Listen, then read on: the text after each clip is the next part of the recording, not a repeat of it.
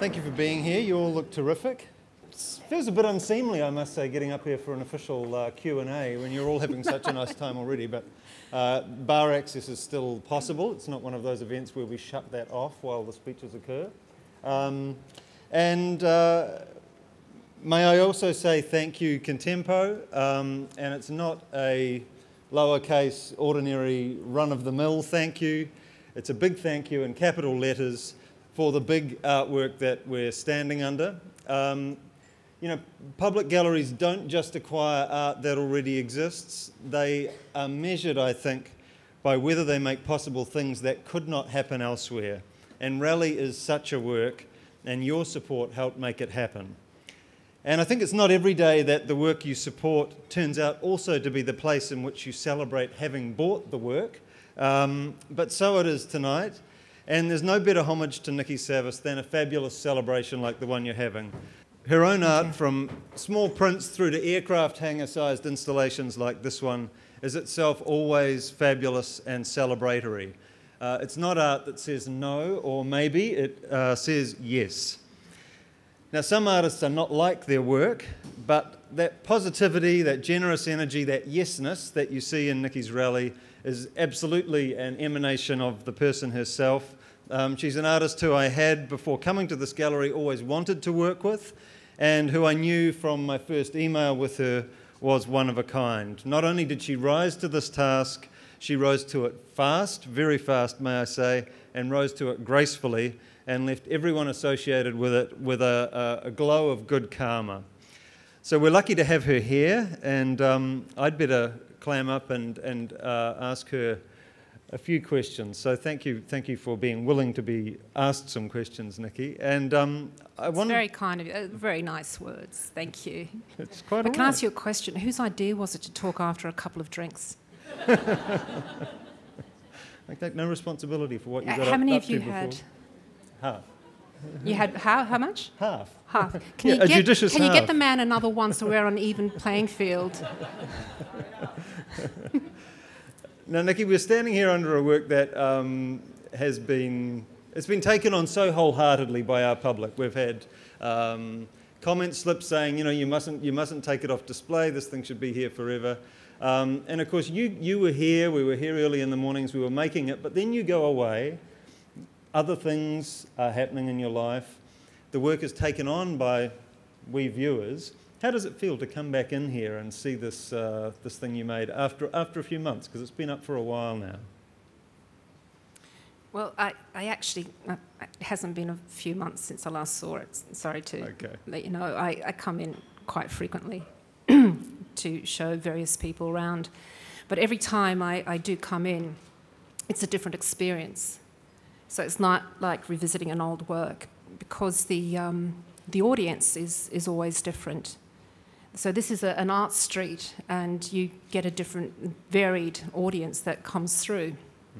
So, um, you know, and they engage with the work in a different way, and, and I really love the way that that the, the audience plays off the work and the, the kind of, you know, uh, well, the, the environment changes. It, it can go from a bustling street to a, a, a space where, you know, contemplation and reflection sort of happens. So it's nice to see that, that changing dynamic. And when we first started talking about this space, I mean, it's a, it's a challenging space, no two ways about it.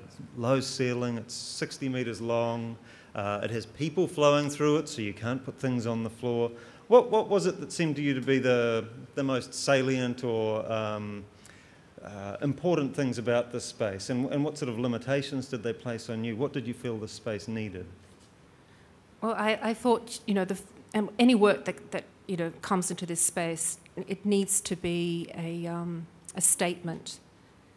So, um, you know, in, in, a, in a sort of like, um, in short, it's, it needed to be a, um, an entrance piece. And I wanted people to, people who, you know, came through the doors, I wanted them to see and experience something they, they'd never seen or experienced before. Um, so that, that was really important to me. And, but because this is a thoroughfare, um, and there are a lot of events that take place, like, you know, tonight and whatever.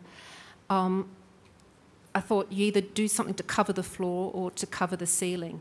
And, and I went for the ceiling, and I, but I wanted it to be something uncompromised. I wanted it to, to look like that it belonged there. Mm-hmm.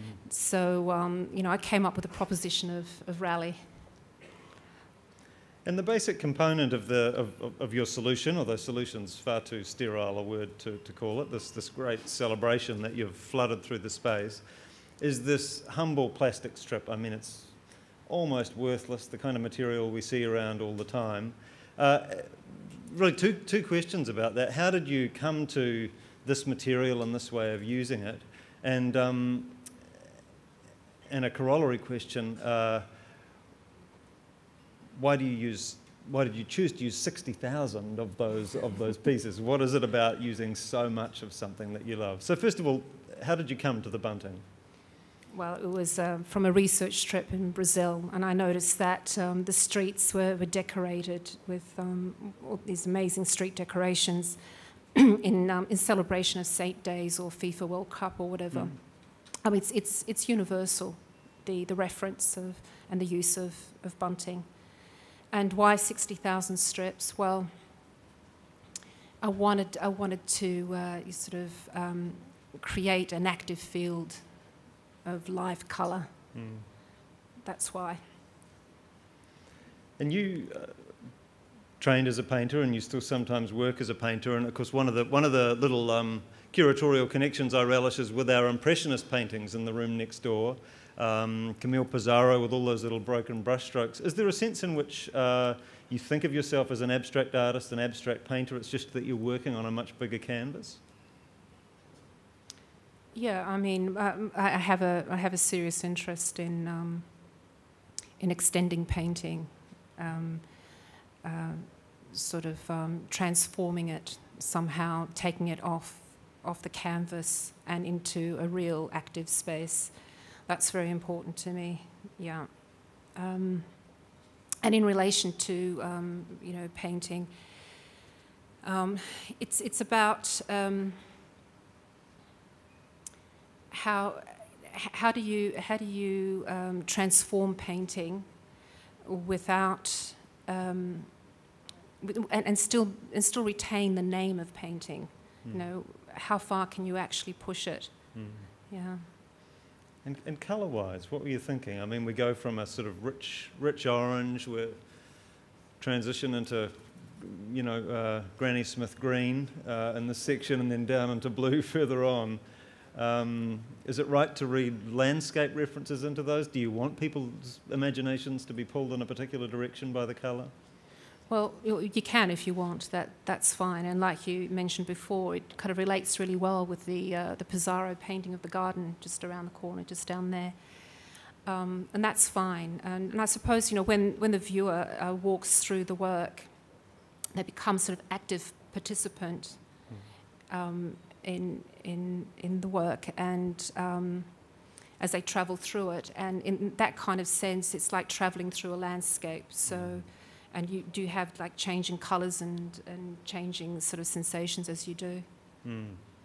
Well, it would be a great work to ride a bike under. Not that we're allowed to do that, but you know, just to kind of glide back and forth through this space. And I, there was a lovely encounter in here the other day when there was. Uh, there was a, a, couple that obviously met for lunch, and uh, one of them said, Look, I'm, I'm, I'm, heading off to the restroom for a bit. Where shall I meet you? And she said, Look, I'm just going to stay under this for a while. You know, there was a sense that she was, she was basking in the experience. But I wanted to ask you, um, you know, I don't want to indulge in stereotypes or generalizations, but contemporary art can be a bit doomy, you know, it can be uh, a little dark, a little apocalyptic. And you, um, you do stand out, I think, among contemporary artists for I guess what we could call radical positivity. You know, your work is always, it's just emanating this uh, perceptual energy, colour energy, um, a kind of outward uh, spirit.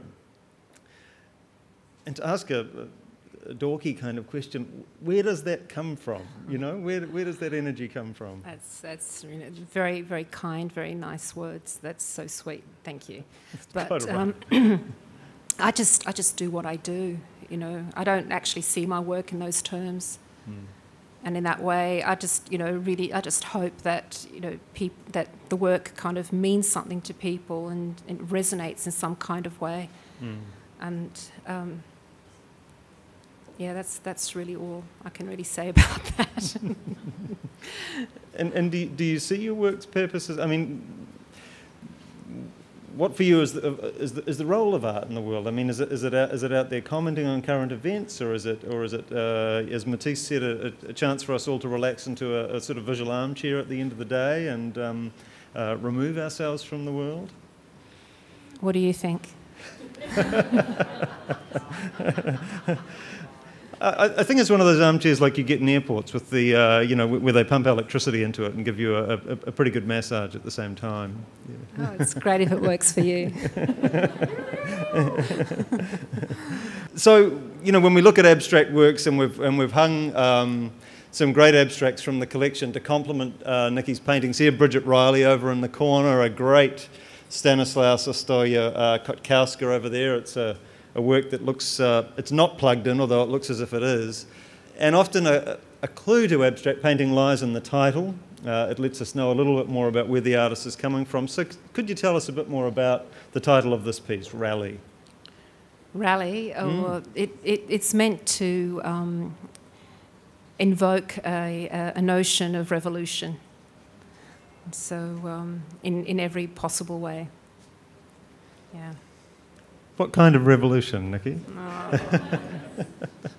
you need a drink.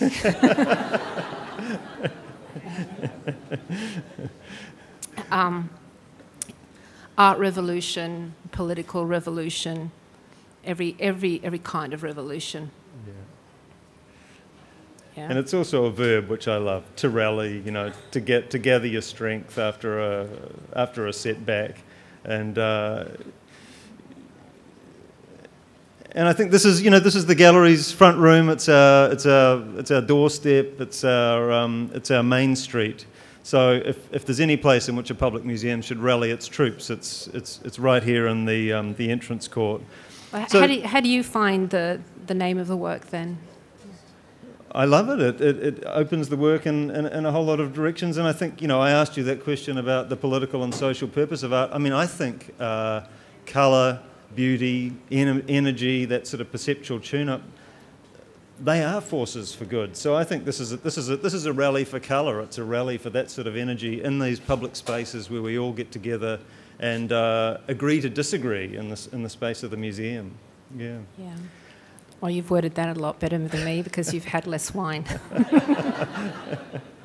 so, Nike, I'm going to ask you uh, one one more question, and that is, um, it's a kind of dream question. And, uh, you know, it's tremendous to have this work here, 60 metres long, filling the space. Even more tremendous that it's a work that stays with us, and we hope to see it play out in the spaces of um, uh, Sydney Modern in due course. But if you had all the time and money in the world, and uh, your choice of any museum in which to, to do your thing, where, where would you like to make your next huge work, and what would it be like? Wow. Um, I'd like to make something for the, the, the, Tate Modern Turbine Hall. Yeah. And um, if I had uh, an open check, yeah. You do? Yeah. I, it would, oh, great. Um, it, would, it would be like nothing you could ever imagine. There you go. Good. Well, we, we have a few email addresses at Tate, and we'll see what we can drum up. Yeah. Brilliant. okay, thank you very much, Nike, and thank you all. Have a great night.